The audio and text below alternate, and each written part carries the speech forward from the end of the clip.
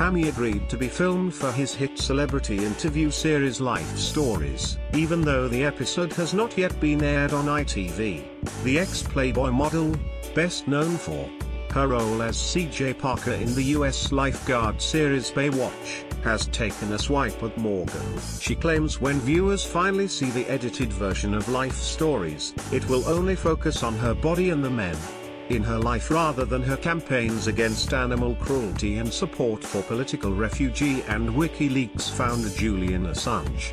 Pamela moaned on her website, you won't see this in the final edit. The interview I did was 3 hours long and it will be cut down to 37 minutes.